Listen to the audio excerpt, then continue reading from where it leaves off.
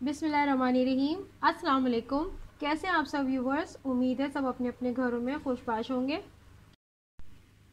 आज हम अपने किचन में बना रहे हैं मज़ेदार गजरेला।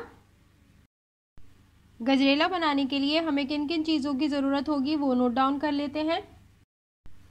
गाजर ली है मैंने ढाई कप और इसे मैंने धोकर अच्छी तरह से कद्दूकश कर लिया था और फिर इसको मैंने मेजर किया है ढाई कप।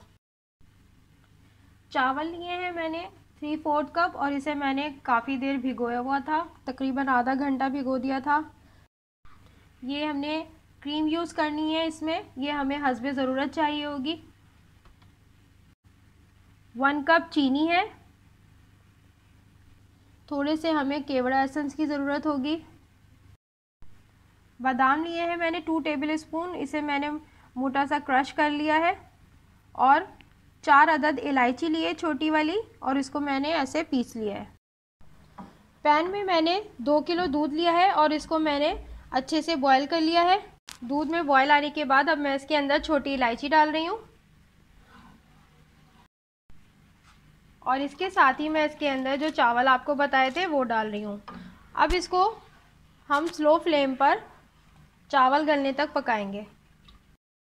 चावल हमारे गल गए हैं, अब इसके अंदर मैं गाजर शामिल कर रही हूँ। गाजर गल जाएँगी तो फिर हम इसके अंदर चीनी ऐड करेंगे। गाजर अब हमारी गल गई है और चावल भी अच्छे से गल गए हैं, देखिए मैश से हो गए हैं। अब मैं इसके अंदर जो एक कप चीनी बताई थी, वो डाल के इसको हम अच्छे से स्लो फ्लेम पे पकाएँगे।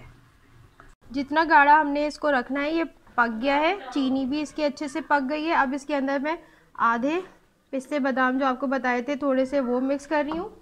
और क्वार्टर टी स्पून इसके अंदर मैं ये केवड़ा एसेंस डाल रही हूँ। और अब इसको हम पाँच मिनट के लिए स्लो फ्लेम पर रख दूँगी। गजरेला हमारा अब बिल्कुल रेडी हो गया है। अब ये थोड़ा ठंडा हो जाएगा तो हम इसके अंदर क्रीम डालकर मिक्स करेंगे। गजरेला अब हमारा ठंडा हो गया है। अब इसके अंदर में जितनी हमें क्रीम डालनी है, वो डालकर मैं इसको मिक्स कर रही हूँ। तकरीबन मैं हाफ़ कप क्रीम इसमें डाल रही हूँ। क्रीम डालकर मैंने इसमें मिक्स कर लिया। देखें, इसकी कंसिस्टेंसी इस तरह से होनी चाहिए और चावल, गाजर दोनों हमारे अच्छे से इसमें मैश हो गए। अब मैं इसे आपको सर्व करके दिखाती हूँ। हमारे मज़ेदार गजरेले की फ़ाइनल लुक आपके सामने है। आपको मेरी रेसिपी पसंद आए तो इसे लाइक ज़रूर करिएगा और मेरे चैनल को सब्सक्राइब ज़रूर करिएगा। शुक्रिया।